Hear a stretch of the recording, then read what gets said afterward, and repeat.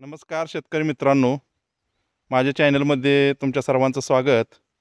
या ठिकाणी आपण आज सीताफळ लागवडविषयी आमच्या गावचे सरपंच संपत बापू यांच्या रानामध्ये त्यांनी कशा पद्धतीनं सीताफळ लागवड केलेली आहे याची आपण माहिती घेऊया. हा संपत जाधव घोळपवाडी सरपंच.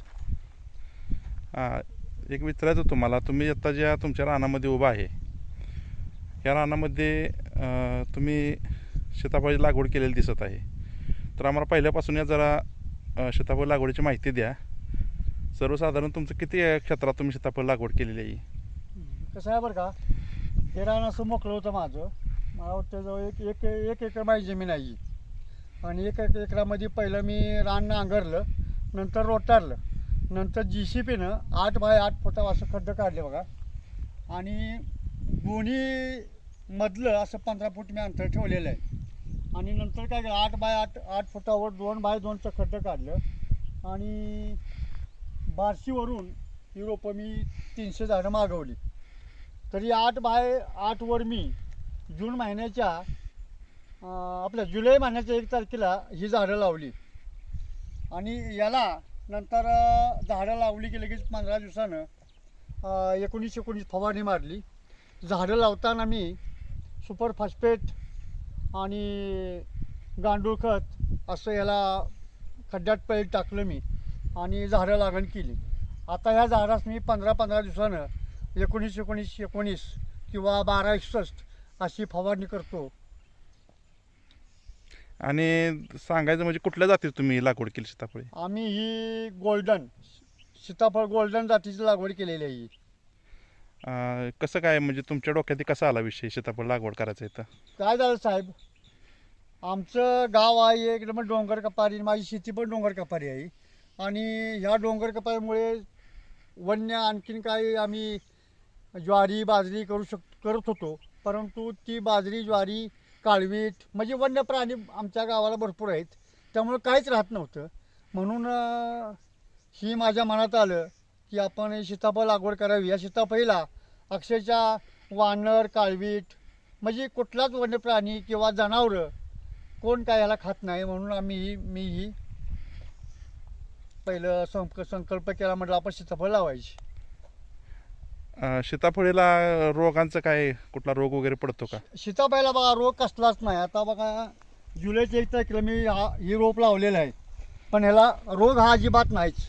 आणि महत्त्वाची गोष्ट म्हणजे गेल्या महिन्यात बघा गेल्या महिन्यात मी फवारणी करायला आलो तेव्हा ह्या ह्याच बारक्या रोपाला अशी बारीक बारीक फुलं आलती आणि बोरासारखी अशी बारकी बारकी फळं आलती. पण मी स्वतः एक सगळी कट केली ती. का? तर जर फळ मोठं झालं अर्ध्या अर्ध्या किलोचं एक फळ असतं. आणि फळ मोठं झालं आणि दापी मोडली तर नुकसान आपलंच होणार. आणि हे ह्याच्यामध्ये औषध काय फवारणी करायला लागते का? औषध मी पंधरा पंधरा दिवसाला करतो एकोणीस एकोणीस बारा एकसष्ट. नाही हे कीटकनाशक. बारा एकसष्ट एकोणीस एकोणीस खतं झाली. हा. पण कीटकनाशक वगैरे किंवा काय? कीटकनाशक फवारतो त्यात मिक्स करून फवारतो कीटकनाशक. म्हणजे पंपानं स्प्रेच घेता पंपाने स्प्रे घेतो आणि दुसरी गोष्ट काय रोपांची मर होती का? नाही नाही मर झालीच नाही. एकही रोपाचं मर झाली नाही साहेब. संपूर्ण जेवढी रोपं मी आणलीत ना तेवढी सर्वच लागण झालेली आहे. आणि दुसरी गोष्ट म्हणजे काय केलं बरं का साहेब? आता दसऱ्याच्या अगोदर अं, पंचेचाळीस दिवस मी ह्या पंधरा फुटामध्ये असं दोन दोन तीन तीन सऱ्या घातल्या आणि झेंडू लावला. त्या झेंडूपासून पण मला अंतर्गत पिकातनं जवळजवळ मला तीस ते पस्तीस हजार रुपये या वर्षी आता भेटले मला. सर्वसा यात मी आंतरपीक पण करू शकतो.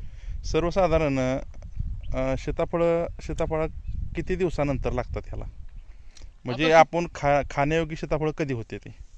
अडीच वर्षांना लागतात. तुम्ही ज्या वेळेला रोपं आणली लागवड कर करण्याकरता त्यावेळेला रोपांची अवस्था काय होती? हे बघा ज्यावेळेला मी रोपं आणली त्यावेळेला फक्त अशी इथं कलम केलेलं आहे खाली. ही जमिनीपाशी आहे ना इथं कलम केलेलं आहे. आणि ही अशी एकच रोप होतं त्या दोन तीन पानं होती. आता त्याला बघा हा फुटवा झाला आहे हा फुटवा झाला आहे हा फुटवा झाला आहे किती महिन्यात एवढा फुटवा झाला? हे आता बाकी जुलैच्या एक तारखेला लावले. मग जुलै August September October November December पाच महिन्यात. म्हणजे पाचवा महिन्यात चालू आहे रोपाला माझ्या या. या रोपांना पाणी देण्यासाठी तुम्ही काय करता? मी बघा विहीर माझी स्वतःची विहीर काढलेली आहे तर याला पंधरा पंधरा दिवसानं मी असं पाणी पाटानं पाचतो पण आता आमदार जर मला पन्नास टक्के भेटलं तर मी ह्या रोपांना ठिबक करणार आहे. आणि ठिबक करून ह्यासनी पाणी देणार आहे. कारण ह्या ह्या रोपाला कसं आहे माहिती आहे का साहेब?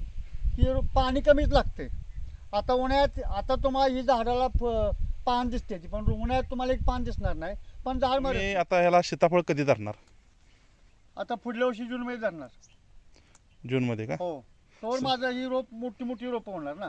म्हणजे जास्त नाही धरणार. एक दोन एक दोन धरणार. आणि त्याच्या प्रत्येक वर्ष अशी वाढवत वाढवत जाणार. म्हणजे जसं झाड मोठं होईल तसं मी फळ धरणार आहे. आणि दुसरी गोष्ट सर्वसाधारण एकरी किती रोपं बसली तुमची इथं? एकरे माझी तीनशे रुपये बसलीत बघा. तीनशे. आठ बाय आठ फुटावर तीनशे रुपये बसलीत. तीनशे रोपं. हो. आणि रोपं लागण करताना सर्वसाधारणपणे शेणखत वगैरे काय वापरलं का? अजिबात नाही. शेणखत आणलं होतं मी. हां. पण जिथून रोपं आणली ते लोक म्हटले की शेणखत तुम्ही वापरू नका. हां. हे सुपर फॉस्फेट पुन्हा गांडूळ खत असं वापरा अं, झाड लावताना. शेणखत का वापरलं नाही? अं, आमच्या रानाला जास्त वाळवी आहे. आणि वाळवीचा प्रादुर्भाव असल्यामुळं वाळवी हे झाड खातं. म्हणून मी शेणखत नाही वापरत माझं मत असं आहे बरं का अं, आमच्या भागात अशी जर जनावर आहे ती रानटी जनावर आहेत त्याच्यापासून आपले पीक राहत नाही. तर अं, सीताफळ लावावी ह्याला भरपूर प्राधान्य आहे. सीताफळ लागवड केल्यानंतर याच्यातून तुमची आर्थिक उत्पत्ती पण चांगली उत्पन्न तुम्हाला मिळणार आहे. अहो चांगलं भेटणार आहे. माझं आंतरपीक अं, म्हणजे उंचीचं पीक करणार नाही. भुईमुग करू शकतो मी कंपाऊंड केल्यानंतर. भुईमुग करू शकतो. पुन्हा झेंडू लावू शकतो. सोयाबीन करू शकतो आंतरपीक. म्हणजे डबल उत्पन्न मला भेटतं याच्या याच्यातून. सर्वसाधारण एका झाडाला सीताफळ किती लागतील? काय अंदाज? एका झाडाला बघा आता तसा अंदाज नाही मला पण निदान पंधरा किलोचं सीताफळ लागणार एका झाडाला. आणि याच्यासाठी मार्केटची काय व्यवस्था आपल्या इकडं? मार्केट इथून आमच्यापासून घेऊन जाणार. मार्केट. पॅकिंग करून तुम्ही देणार? इथं पॅकिंग करणार आणि इथून जाणार गाडी. डायरेक्ट पुण्या बॉम्बेला.